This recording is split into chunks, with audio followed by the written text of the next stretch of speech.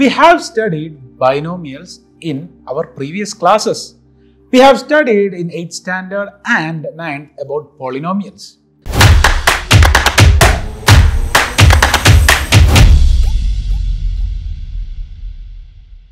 Here I am only going to look for the coefficients.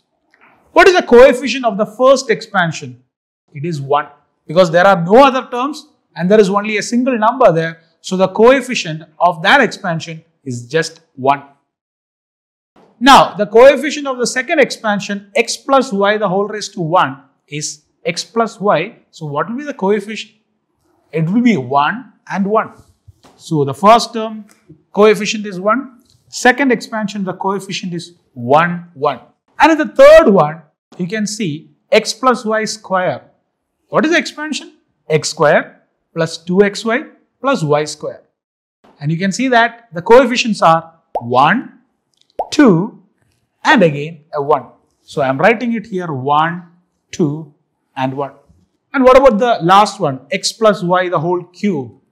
It is x cube plus 3x square y plus 3xy square plus y cube. So the coefficients are 1, 3, 3 and 1. As you can see here, the numbers or the coefficients here, are they forming a triangle? You can see from this, you can see that it is forming a triangle. And this triangle is called by the name Pascal's triangle. And you can see that the endpoints of all the levels are 1. In the first one, you have a 1. Second, you have 1, 1. Third, again, you have 1, 2, 1. So, again, 1 and 1 at the ends. And again, you are having 1, 3, 3, 1. So, again, there is 1 at the beginning and at the end. So, this formation is called by the name Pascal's triangle. This is called by the name Pascal's triangle. So, now you have understood Pascal's triangle. What does this Pascal triangle helps you? It will help us to find some more expansion. We have found out x plus y the whole cube. Now, what if we have to find x plus y the whole raised to 4? Just what you have to do here? As we can see in this Pascal's triangle, 1 and 1 it will give you this 2. 1 and 2 are, is giving you this 3. Similarly here, 2 plus 1 is giving you this 3. So if I am writing the next level in this Pascal's triangle, this endpoints will be 1. I have said earlier, the beginning and the end will be 1. And what about the numbers in between? 1 and 3 gets added together gives you 4. 3 and 3 gets added together gives you 6. 3 and 1 gets added together and gives you 4. So you are getting some numbers 1, 4, 6, 4 and 1. Now, what are these numbers actually? We know that these are the coefficients. So, can we use these coefficients to find out the expansion of x plus y the whole raised to 4? Yes, we can write. So, how will you write that? Same, let's like example x plus y the whole cube.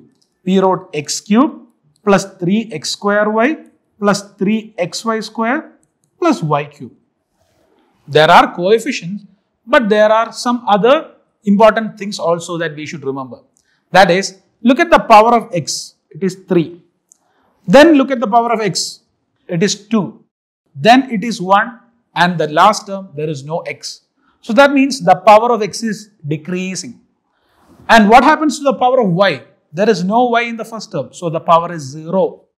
There is one y, that is y raised to 1, power is 1. You have y square, the power is 2. And you have y cube, the power is 3. So y power increases and x power decreases. So, how will you write x plus y the whole raised to 4? Since the power is 4 here, we have to write x raised to 4. Then x cube and y because the power of x decreases to 3 and y increases to 1. Then again power decreases to 2 and y increases to 2. Again power decreases to 1 and y power increases to 3. And in the last term there is no x because the y power is maximum there. Now we have to put the coefficients that we have got here. That is 1, 4, 6, 4 and 1. So I'll put 1, 4, 6, 4 and 1. And now look at the expansion. It is x plus y the whole raised to 4. Whenever you are taking a sum of two terms and taking the power, all the expansion will be positive. So I'm putting a plus sign in between all these. So here I'm getting the expansion for x plus y the whole raised to 4.